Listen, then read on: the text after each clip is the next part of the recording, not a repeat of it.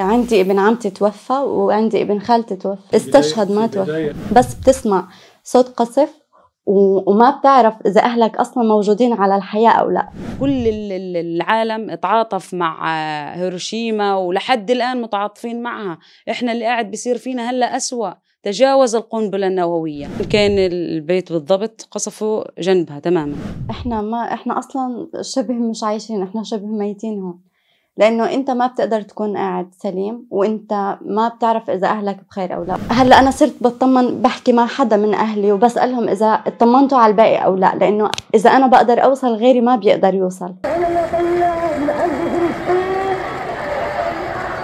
اسمي براءة الشيخ. أنا طالبة فلسطينية التحقت بالمنحة المغربية من ست سنين. إيه، درست هنا الإجازة والماستر. أنا من غرب غزة. حاليا آه، صار لنا وقت طويل يعني هلأ اليوم تقريبا 25 في الحرب. طبعا الأوضاع كانت جدا صعبة. أول يوم كان كان الوضع إنه فرحة وحسينا شوي بانتصار. بعدين صارت الأحداث كل يوم عن يوم تكون أسوأ بكتير. من أول أول شيء قطعوا الإنترنت قطعوا الكهرباء. كان قطع الكهرباء تدريجي لأنه كانت الوقود تنقص بشكل تدريجي بفلسطين لحد ما انقطعت الكهرباء بشكل نهائي. عائلتي تقريبا قطع التواصل بيني وبينها يومين كاملين زي ما كل العالم بيعرف ومش بس بيني وبين عائلتي بيننا وبين أي شيء بصير بفلسطين. يعني إحنا كنا بس قاعدين قدام الأجهزة أجهزة التليفون وأجهزة التلفاز بنتابع وبنشوف إنه القصف في كل مكان في غزة. القصف في الشمال وفي الغرب وفي الجنوب وما بنعرف أي شيء لا لا القصف في أي منطقة ولا بنعرف إذا أهلنا كويسين أو لا. كانت مع كل ثانية بتمر. إحنا ما بنعرف أصلا ما في شعور بيوصف إنه البني آدم يكون قاعد وما بيعرف إذا عائلته وأهله وأهل بلده شو قاعد بيصير فيهم. بس بتسمع صوت قصف وما بتعرف إذا أهلك أصلا موجودين على الحياة أو لا. وقت اللي رجع الاتصال كنا بس بدنا نسمع إذا أهلنا بخير أو لأ بس بدنا نسمع صوتهم. هم عايشين أو لأ أصلا. فمع قطعة الإنترنت هلأ. بتبقى سامع إنه مثلا في قصف في منطقة معينة وما بتقدر تتواصل لأنه من بعد ما قطع الإنترنت بغزة صار الاتصال جدا ضعيف. كان الإرسال لحد هلأ الإرسال جدا ضعيف. يعني من بين أربع ساعات تقعد تتصل فيهم بشكل متواصل مع أي حدا بدك تطمن عليه مرة أو ممكن ما تلقط. يعني ممكن أصلا تقعد يوم كامل بتتصل وتلقط معك المكالمة مرة واحدة تقدر تحكي فيها مكالمة تطمن إذا هم بخير أو لا. هلأ أنا صرت بطمن بحكي مع حدا من أهلي وبسألهم إذا اطمنتوا على الباقي أو لا لأنه إذا أنا بقدر أوصل غيري ما بيقدر يوصل. وبس أنا أتواصل مع حدا لأنه إحنا يعني عنا أكثر من شخص مغترب بالعائلة. فإذا كنت أنا تواصلت مع حدا لازم أعرف كل حوالي إنه أهلي بخير. عندي ابن عمتي توفى وعندي ابن خالتي توفى. استشهد ما توفى. واحد في البداية وواحد في منتصف القصف عادي. كانوا قالوا لهم إنه توجهوا لجنوب قطاع غزة وكان عادي زي أي شخص مدني بده يتوجه للجنوب وما بده يبعد عن القصف. ففي هذاك الوقت وهو بيستنى السيارة تيجي تاخده انقصف. وحاليا يعني أنا حكيت لك عن أشخاص مقربين بس عندنا بالعائلة إيه، أشخاص خمسين يعني النسب عنا بيننا وبينهم نسب بتلاقي خمسين شخص انفقد من عائلة. عائلة تانية كانوا كل العائلة راحت إلا طفل واحد أو أشخاص قليلين جدا. فالوضع كتير صعب. فاطمة أبو عمشة قطاع غزة أه بدرس ماستر هون. في الرباط أه في جامعة محمد الخامس أه إلي من 2019 في المغرب. يوم 19 عشرة في الصباح قصفوا في نفس المنطقة اللي إحنا فيها. كان البيت بالضبط قصفوا جنبها تماما. انقطع التواصل ما عرفتش إيش هو عندنا وهذا فبعدين سمعت في الأخبار إنه يعني جنبنا تماما. كانت صدمة كبيرة لأنه المدينة في هذه هذه عند الواد المكان اللي حكوا إنه آمن وهذا. كانت صدمة لأنه المدينة اللي إحنا ساكنين فيها على وجه الخصوص يعني مدينة الزهرة المدينة هذه من 98 يعني قديمة. ولا أعتقد أنه أي من الساكنين فيها آه، لا هو عسكري ولا أي شيء جميعهم مدنيين بل جميعهم من اللي كانوا لاجئين في الخارج. في نفس اليوم في الليل فجأة إجا شخص يعني هم ما أنذروهم ما حكى إشي. صار يحكوا للناس إنه راح ينزلوا المباني. و... وخ... يعني الناس طلعت زي ما هي ما أخدوش أي إشي. أه... تفاجأنا إنه دارنا هي اللي اللي اللي تم قصفها. تواصلت مع أهلي بعد يومين. ما كنتش أعرف إنه إيش اللي صار أو هاد. آه عرفت السيناريو اللي, صار. يعني كانت الساعة ما يقارب 11 بالليل. خرجوا آه أصغار يعني أربع عائلات الموجودين في الدار. لأنه أجوا إخوالي ومن الشمال للمنطقة تاعتنا. خرجوا بالليل. ما عندهمش أي إشي. حتى الأوراق المفروض ياخدوها ما ما لحقوش ياخدوها. الدنيا برد مش عارفين وين يتجهوا. إذا أنت حكيت هاي الأماكن الآمنة وعمالك إنك بتقصف فيها. في, في تاني يوم الجيران تاعونا برضو لأنهم هم في نفس البناية توجهوا للمنطقة اللي هي فيما بعد الواد. آه، قصفوا العائلة كاملة كاملة يعني العائلة. وهي بقيت بنت واحدة يعني بتدرس في مصر. يعني إمها وأبوها كفيف وأخوها وأختها. هذا المحتل ما في أي حدود لإجرامه. وهو ما عندوش أي هدف معين هو هدفه آه، تدمير آه، وكل العالم تعاطف مع هيروشيما ولحد الآن متعاطفين معها. إحنا اللي قاعد بيصير فينا هلأ أسوأ. تجاوز القنبلة النووية.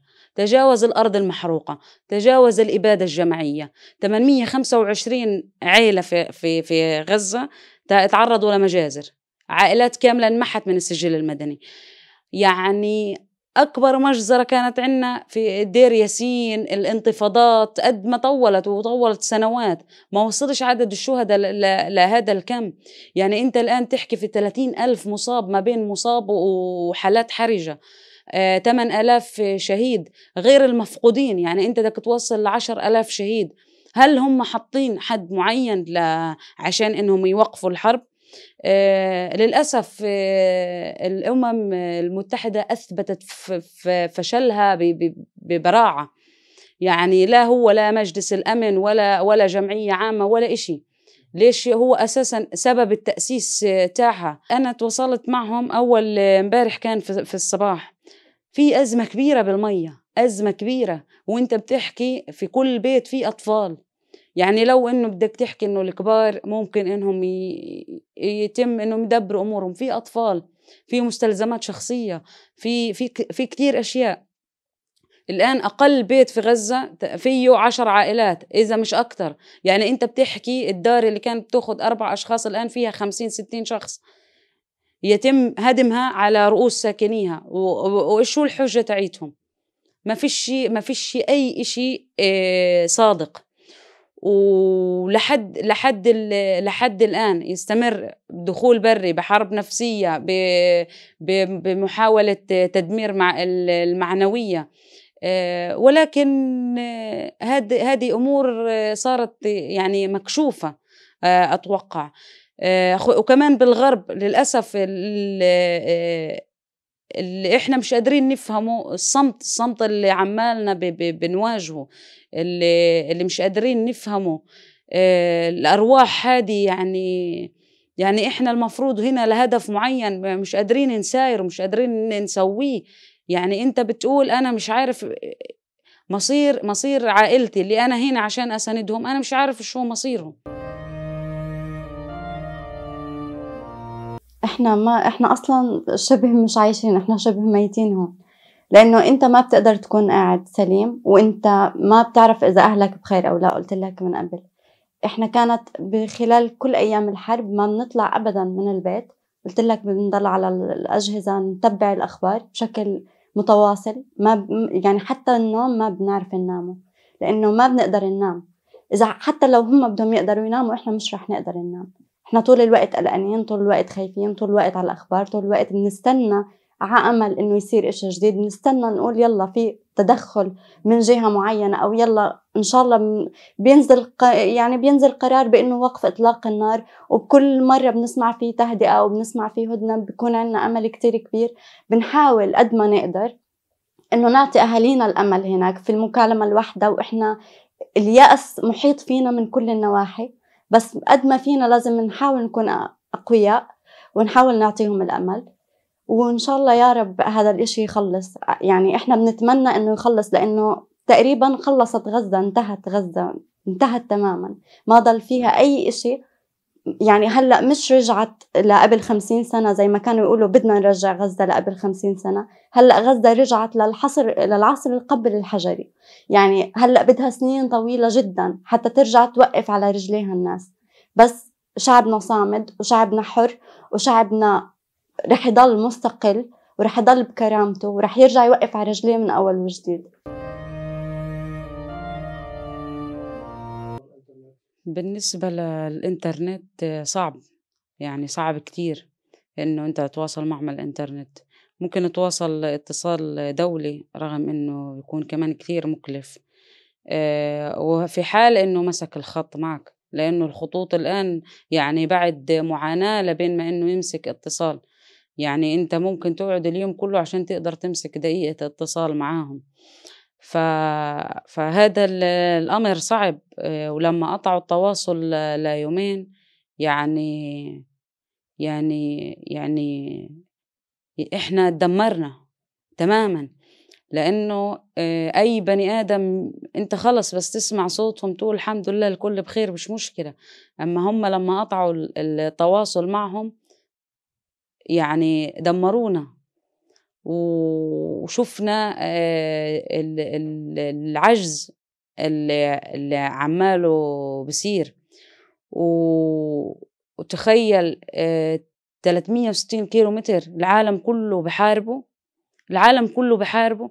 يعني إحنا الآن كنا نقول بدنا آه، نناشد فلان وفلان وفلان ولكن في ظل هذا الصمت والأرواح اللي بتروح ما أي مدينة؟ إحنا بدك مليون سنة عشان ترجع غزة غزة.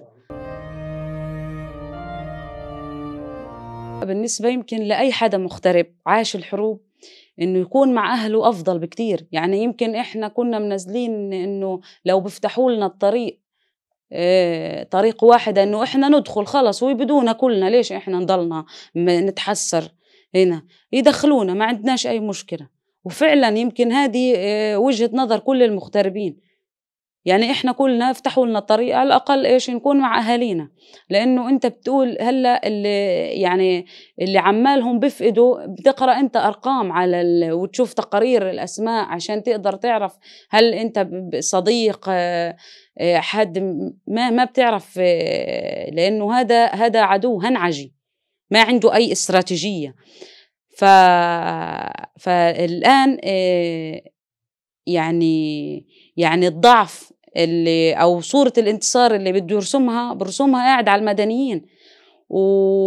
وإذا إذا إحنا بنناشد في الدول العربية وهم مش قادرين يدخلوا إزازة مية مش قادرين يدخلوا الأمراض انتشرت حياة المدارس سيئة. يعني أنت بتقول أقل مدرسة فيها خمسين ألف. غير إنه الخيم لا تصلح للعيش الآدمي. في, في إذا إذا بيبعتوا قادرين يبعتوا لهم حاملات طائرات مش قادرين يبعتوا إزازة مية. ف, ف يعني يعني المستشفيات اللي انقصفت الإسعاف لسه امبارح تاع الهلال الأحمر محمي في اتفاقيات جنيف والقانون الدولي الإنساني. فيعني يعني هو تجاوز كل شيء حتى بعد قرار الجمعية العامة والدول صوتت على الأقل أنه وقف إطلاق نار ضربها في عرض الحائط. ف, ف يعني حتى سبب قيام هذه المنظمة في إنها تحمي تمام عمالها إنها بتفشل زي سابق العهد اللي كانت آه، من قبل منها. فيعني يعني إحنا إحنا الآن في في في في في عجز صعب. والله إحنا اللقاءات بتصير عبارة عن مجموعات. يعني بالنسبة لنا مثلا البنات آه، بنكون إنه عن طريق آه، بنكون مجموعات وبنضلنا قاعدين أغلب الوقت مع بعض اللي بكونوا بعاد بنضلنا إنه اتصال رابطين فاتحين الأخبار نطمن على عائلات بعض بنحاول إحنا نوصل آه، أي حاجة نكون بنجرب على كل التليفونات اللي معانا إنه نقدر نوصل لهم. آه هذا الإشي اللي بنقدر نسويه يعني. أما بالنسبة إلنا آه يعني يعني كثير سيء. و... ولأنه إحنا عشنا هذه الحروب هذه الحرب يعني يعني كيف كيف الصاروخ أطول من البناية اللي عماله بنزل ومجرد ما ينزل يعني بطلوا يستخدموا صاروخ أو اثنين صارت تنزل مجموعة مكثفة لأنها آه، الهدف منها إنها تدمر مربع سكني مش تدمر منطقة معينة. يعني هو هدفه إنه مش يرجعنا يعني يخلي غزة غير صالحة للعيش. أنت مش هدفك القضاء لا على حدا على جهة معينة أو هذا أنت هدفك الآن فقط المدنيين لأنه انت بتحكي نص الشهداء هم أطفال ونساء. هم أطفال ونساء. مين اللي مين مين اللي تأذى؟ مين اللي اللي قاعد بدفع الثمن لبنك استهدافهم؟ رسالتنا للي بإيده سلطة إنه يقدر يوقف هذا الإشي. إحنا بنناشد العالم كله إنه هذا الإشي يوقف لأنه كل وقت بمر وكل ثانية بتمر في أطفال قاعدة بتموت في بيوت قاعدة بتتهدم في مستقبل قاعد بيتحطم. فرسالتنا للعالم كله إنه يوقف معنا. من من أصغر حدا حر لأكبر حدا قادر يعمل إشي ويساعد فلسطين لأي حدا عنده إنسانية يقدر يساعد الأطفال الأبرياء. تعبنا من كلمة نناشد ونندد ونستنكر. هاي الكلمات كتير صار كتير صرنا نسمعها. شو يعني أنت بتكون قاعد وعارف إنه في طفل عربي زيك زيه مسلم؟ وحتى لو مش مسلم في طفل قاعد بموت في طفل قاعد بيتهدم في بيوت ناس قاعدة تتدمر من أول وجديد. إحنا ما في حدا فلسطيني بيقبل إنه يصير في أي حدا في العالم هيك. دايما بنتوجع وجع أي حدا بس في وجعنا مش لاقيين حدا قادر ينتشلنا من هذه الشغلة. الآن الرسالة إذا تكون بالنسبة لنا واضحة إنها أكثر آه، كل كل شخص ضمير حر وفعليا قادر إنه يغير. آه، كنا كان عندنا أمل كبير في إنه هذه العملية آه، ضخت الدماء في الأمة العربية والإسلامية. آه، قضية فلسطين قضية إسلامية في في الدرجة الأولى إنسانية عربية. فإحنا شايفين إنه الصمت هذا لا مبرر له. آه بناشد كل ضمير حي يوقف إطلاق النار. يعني اللي اللي خسرناه بكفي. يعني إحنا بالنسبة لنا تدمر ماضينا ومش عارفين إيش إيش المصير اللي راح يصير. نسأل ربنا إنه يكون خير وصامدين وكل إشي في ده فلسطين مش مشكلة. بس عشان الناس يعني حقن الدماء خلص بكفي هذا الإشي لازم يوقف. آه وقف إطلاق النار لازم يصير. الأمم المتحدة عجزت أمام هذا الإشي لازم إنه العرب يوقفوا. جامعة الدول العربية أنو دورها؟ وين دورها اللي قاعد من اللي قاعد بيصير. في, في كل التدخلات اللي اللي صارت كان في في ثواني إنها تصير الآن إحنا بنستنى الأمم المتحدة وعجزت في هدفها الأساسي في تحقيق هدفها الأساسي عجزت بعد 25 يوم من الحرب. فيعني و25 يوم خلفت الحرب اللي اللي اللي ما عشناهوش في سنوات اللي هو حرب 2014 كانت أطول حرب 51 يوم ما وصلش لهذا الدمار لهذه الأشياء اللي بنشوفها. 2008 رموا فسفور أبيض لم تصل لهذا الحد. في هذا في هذا في هذا الدمار. فيعني يعني وين وين الدول العربية؟ ليش عاملين جامعة الدول العربية؟ ليش عاملين ليش عاملين منظمات آه، عربية؟ لسه بعد هذه الأعداد الشهداء بعد هذه الأشياء لسه بدنا نضل نستنكر وندين لبين ما إنهم يبيدوا غزة تماما؟ يعني إيش إيش بيستنوا؟ ما ما ضل ما ضلش حد.